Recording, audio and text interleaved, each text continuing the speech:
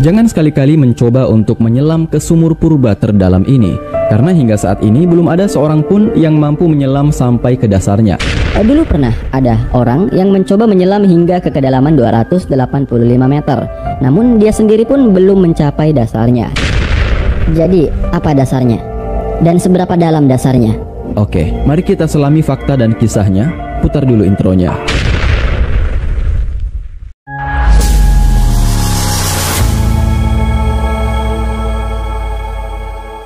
Sumur ini terletak di timur laut Tamaulipas, Meksiko. Dia mengeluarkan air yang hangat, makanya banyak wisatawan yang berkunjung ke sana. Nah, sebelum tahun 2006, sumur Zakaton disebut-sebut sebagai sumur purba yang tidak berdasar. Soalnya, tidak ada manusia yang mampu sampai ke dasarnya hingga sekarang. Walaupun ya, manusia sudah berlomba-lomba untuk mencapai dasarnya. Disebut sumur purba bukan berarti dibuat oleh manusia purba ya, tapi sumur ini terbentuk di zaman purba dan terbentuk oleh alam. Ilmuwan biasa menyebutnya dengan sinkhole. Kira-kira seperti ini ilustrasinya. Seiring berjalannya waktu, batuan di atasnya runtuh dan menciptakan ruang kosong yang sangat dalam. Setelah diteliti, ternyata sumur tersebut mengandung sulfur yang berbahaya. Orang-orang bisa keracunan bila menghirupnya. Apa? Konon, makhluk hidup pun bisa mati jika masuk ke sumur tersebut. Tapi entah karena belum tahu atau memang tidak mau tahu, sebab banyak penyelam yang tetap berlumba-lumba menjadi penyelam terdalam. Itu apakah karena ambisi untuk memecahkan rekor atau didorong oleh rasa kepenasaranan untuk mencapai dasarnya? Eh, bisa jadi dua-duanya sih. Penyelam Sage Exley. Kita kenalan dulu dengan salah satu penyelam legendaris bernama Sage Exley. Kita panggil saja dia Sage. Sek, Sage, sek. susah amat. Sage ini adalah seorang guru matematika yang suka sekali menyelam alias scuba diving. Di usianya yang masih terbilang muda, hasratnya menggebu-gebu untuk memecahkan rekor penyelam terdalam. Dia mendatangi banyak tempat dalam untuk memecahkan rekor. Sampai pada suatu hari, ia pertama kali menyelam ke lubang-lubang gua yang sangat indah. Di situ, dia semakin terobsesi untuk terus menyelam. Dia jatuh cinta dengan olahraga satu ini. Dia pun membentuk tim penyelaman. Dan Sage menjadi senior yang sangat pro dalam bidang penyelaman ini. Bayangkan saja, di usianya yang masih 23 tahun, dia sudah 100 kali melakukan penyelaman dalam gua. Bahkan sebelum mencapai usia 40 tahun, dia sudah 4000 kali melakukan misi penyelaman. Sombong amat. Tapi di sini rekor yang ingin dia capai itu bukanlah menjadi yang tersering, tapi menjadi yang terdalam. Dan itu adalah tantangan yang sangat beresiko. Apalagi Sage ini menyelam hanya menggunakan peralatan penyelam biasa seperti tabung oksigen, baju renang, dan lain-lain. Dia nggak pakai kapal selam. Sedangkan tubuh manusia itu kan sangat lemah. Jika manusia memaksakan diri untuk menyelam ke kedalaman air, maka paru-parunya mendapatkan tekanan tinggi dari atasan. Eh, maksudnya tekanan air di atasnya, di mana tekanan air ini bisa menghancurkan organ dalam yang sangat lunak. Berdasarkan riset, paru-paru manusia hanya dapat bertahan pada tekanan maksimal 3 sampai 4 atmosfer atau setara dengan kedalaman 30 sampai 40 meter di bawah air. Tapi bang, saya pernah baca tuh di koran tahun 2014 ada Ahmad Gaber berhasil menyelam hingga ke kedalaman 332 meter. Yang bener. Hah? Oke, kita balik lagi ke Sage. Hal yang ia takutkan saat menyelam di kedalaman yaitu dekompresi. Selain itu, manusia bisa pusing, kejang-kejang, berhalusinasi, dan bisa hilang kesadaran. Inilah resiko yang paling tinggi dan sangat berbahaya. Bayangkan aja, lu lagi menyelam di kedalaman, tiba-tiba malah nggak sadar kalau lu ada di mana. Dan malah lupa kalau lu berada di tempat yang berbahaya dan harus naik ke permukaan secepat mungkin. Saat kamu sedang berhalusinasi, bukannya naik ke permukaan, malah tinggal aja di situ. Bangun-bangun udah mati. Lah, ya nggak bangun lagi dong. Oke, kita kembali lagi ke Sage. Sage pun mencoba menyelam hingga ke kedalaman 140 meter dan sepertinya dia tidak merasakan pusing dan masih bisa mengontrol kesadarannya. Beda tuh sama penyelam lain yang kayaknya sudah tidak tahan lagi. Di lain waktu dan tempat, Sage kembali berhasil memecahkan rekor menyelam terdalam dan dia berhasil menyelam hingga ke kedalaman 240 meter. Dia pun menjadi orang pertama dan satu-satunya yang berhasil menyelam sedalam itu di tahun itu. Bahkan hingga sekarang pun hanya ada sekitar 20 orang saja yang mampu menyelam sedalam itu. Misi penyelaman sumur Zakaton Tahun 1993, Jim Baudet, yaitu teman sekaligus partner menyelamnya Seth, menunjukkan tantangan baru yang belum pernah ada penyelam yang bisa menembusnya. Tantangan itu adalah sumur purba Zakaton. Mirip seperti Blue Hole, tapi ini letaknya berada di tengah hutan. Beda sama Blue Hole yang adanya di dekat laut, Laut Merah. Tanpa AEO, Seth langsung datang ke sana dan begitu dia melihat lubang raksasa itu, dia langsung kegirangan loncat-loncat seperti anak-anak yang baru dapat mainan.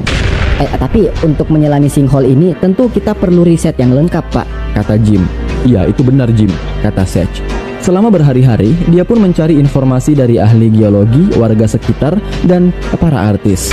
Semakin banyak informasi yang dia dapatkan tentang sumur itu, semakin ragu pula hatinya untuk menyelam.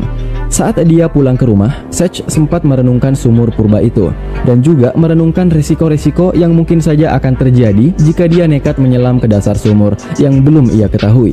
Di sini dia mulai berpikir, sepertinya ambisi masa mudanya untuk memecahkan rekor dunia kini sudah memudar. Semangatnya pun tidak seperti dulu lagi, walaupun sebenarnya fisiknya masih sangat kuat. Pikirannya terus-menerus dihantui oleh masa lalunya. Memang sih dia selalu berhasil, tapi dalam beberapa misi penyelaman, dia hampir saja mati karena tekanan air. Tubuhnya bergetar hebat, penglihatannya memudar, dan jadi lemes banget, kayak burungnya Pak Joni. Belum makan. Saat itu, Seth seketika memikirkan masa lalu dan masa depannya. Jika seandainya dia tidak berhasil di misi kali ini, maka tidak ada lagi masa depannya sempat terbesit niat untuk membatalkan penyelaman ini, tapi tim ekspedisi sudah terlanjur dia bentuk. Maka dari itu, Seth mengumpulkan para tim. Karena tidak ingin mengecewakan timnya, Seth berkata, kita akan pergi ke sumur purba itu tanggal 6 April 1994. Asik. Iya deh asik, tapi kayaknya misi penyelaman ini adalah misi penyelaman saya yang terakhir. Para timnya heran dong. Hah? Apa maksudnya? Maksudnya, setelah melakukan penyelaman ini, Seth mungkin akan menikmati masa tuanya tanpa mengejar rekor dunia. Itu niatnya. Setelah informasi tentang sumur itu didapatkan, Seth pun membagi tugas pada timnya. Ada yang ditugaskan membantu menyelam, ada yang berjaga-jaga di permukaan, dan ada pula yang menyiapkan perbekalan alias menyiapkan makanan. Nah, dia yang menyiapkan makanan, tapi dia juga yang memakannya. Beberapa wartawan juga sempat datang untuk meliput. Seth pun mulai masuk, tetapi masuk lewat mulut sumur yang sangat terjal kelihatannya sangat berbahaya, Pak. Dia pun mencari jalur lain yang lebih aman, yaitu dia harus menyelam lewat saluran mata air sejauh 180 meter. Eh, bukannya itu lebih berbahaya ya? Iya juga sih. Yalah terlanjur, sebelum menyelam ke dasar, tidak lupa mereka mengaitkan dua tali di permukaan, sehingga saat mereka nyasar, tinggal tarik talinya. Di permukaan air, Jim dan Seth terlebih dahulu melakukan pemanasan, tarik napas, tahan, dan buang. Habis itu diambil lagi. Setelah dirasa tubuhnya siap, mereka pun mulai menyelam. Kejadian ini terjadi pada pagi hari tepatnya jam 9 lewat 45 menit. Mereka pun turun secara tidak perlahan. Dia menembus kegelapan dengan kecepatan penyelaman sekitar 30 meter per menit. Rencananya, saat Seth sudah berhasil menyentuh dasarnya, dia akan langsung naik ke permukaan. Karena kan targetnya cuma itu, mencapai dasar dan menyentuhnya. Di kedalaman 90 meter, semuanya masih berjalan normal. Mereka terus turun. Sampai di kedalaman 200 meter, Jim mulai merasakan tubuhnya bergetar hebat. Rasanya dia mulai tidak tahan. Nah, kondisi di sana itu cukup gelap ya, yang kelihatan hanyalah lampu senter mereka. Jim mau minta tolong ke Seth, tapi Seth terus turun ke bawah dan tidak menghiraukan Jim. Mau teriak, eh tapi kan dalam air. Emang bisa ngomong? Please help me. Jim jadi bingung dong mau minta tolong ke atas, jaraknya 200 meter. Dan kalaupun dia sampai naik ke permukaan, itu artinya misinya tidak sesuai rencana. Akhirnya, dia pun memaksakan diri untuk turun lebih dalam. Sementara itu, di permukaan, para tim terus mengawasi pergerakan dua tali yang terhubung ke masing-masing Jim dan uh, siapa tadi namanya? Eh, Bagong apa? Set. Sementara itu di permukaan, para tim terus mengawasi pergerakan dua tali yang terhubung ke Jim dan Seth. Mereka juga memperhatikan gelembung-gelembung yang muncul dari tali itu. Jika gelembungnya ada, itu artinya mereka masih bernapas di bawah sana.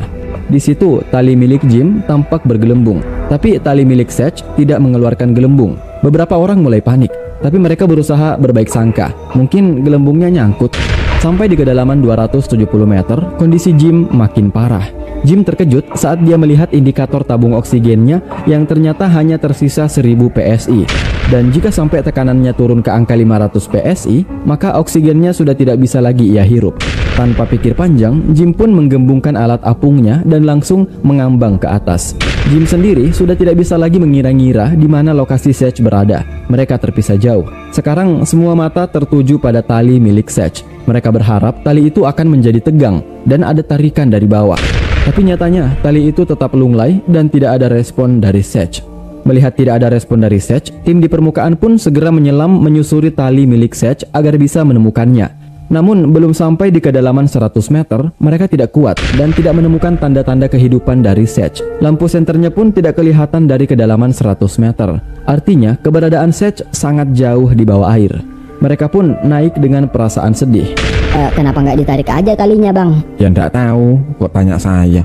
Setelah Jim berhasil diselamatkan ke permukaan, sekarang tali Sage akhirnya akan ditarik. Sedikit demi sedikit tali itu digulung. Dan betapa terkejutnya mereka semua karena di ujung tali itu sudah ada tubuh Sage yang sudah tidak bergerak dan setelah diperiksa jantungnya sudah tidak berdetak alias Sage sudah meninggal dunia. Para tim pun menangis dan tidak menyangka akan kehilangan penyelam legendaris di masa itu. Mereka pun tersadar bahwa ternyata ini benar-benar menjadi momen terakhir bagi Sage untuk menyelam. Beliau pun dimakamkan dengan layak di pemakaman. Tidak ada yang tahu pasti apa yang sebenarnya terjadi dengan tubuh Sage di bawah sana. Soalnya action cam yang biasanya dipasang di kepala penyelam masih jarang di masa itu. Mau pasang kamera pengantin kan ya nggak mungkin juga. Setelah kejadian itu, penyelam lain berpikir dua kali kalau mau menyelam di sumur itu. Apalagi kan airnya mengandung mineral dan sulfur, sehingga membuat eksplorasi di sumur ini sangat berbahaya. Makanya hingga sekarang pun masih belum ada tuh manusia yang bisa mencapai dasarnya. Dan kayaknya nggak ada sih yang mau. Jangan mau lu. Maka dari itu, misterinya pun masih terus menjadi perbincangan di kalangan warga. Ada yang bilang sumur itu tidak ada dasarnya lah, tembus ke jonggol lah, dan lain-lain sebagainya. Tapi ilmuwan yakin pasti sumur itu ada dasarnya. Nah, untuk membuktikannya, di tahun 2006, ilmuwan mengarahkan robot penyelam untuk mencari dasarnya. Dan benar saja, dasar sumur itu ditemukan pada kedalaman 335 meter dengan ketinggian air 319 meter. Sedangkan Jim saat itu menyelam sampai ke kedalaman 285 meter. Artinya nyelam 30 meter lagi udah sampai tuh ke dasar. Atau bisa jadi Sage sebenarnya sudah berhasil sampai duluan ke dasarnya, namun tidak diketahui karena beliau kan sudah kehilangan nyawanya di bawah sana. pemirsa yang merinding. Itulah tadi kisah nyata yang mungkin bisa membuat bulu kudukmu berdiri. Terima kasih telah menonton. Oh ya, jangan lupa cek juga kisah-kisah memerindingkan lainnya di channel ini. Tonton tuh semua. Jangan nonton doang, subscribe dong.